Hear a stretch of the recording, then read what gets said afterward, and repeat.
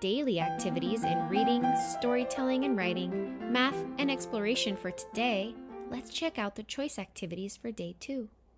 Choice 1 Listen to the story of Beekle the unimaginary friend. Then design your own imaginary friend. Draw what it would look like. Choice 2 Create your own tossing challenge game with different containers, each worth different points.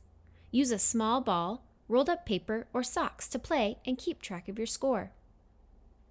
Choice 3 Set up these musical water glasses and see how many songs you can play as you gently tap the sides. You might want to ask an adult for help. Option 4 Listen to this song, also composed by John Williams, and draw a picture of what you think it sounds like or what it reminds you of. Have fun today! Thank you.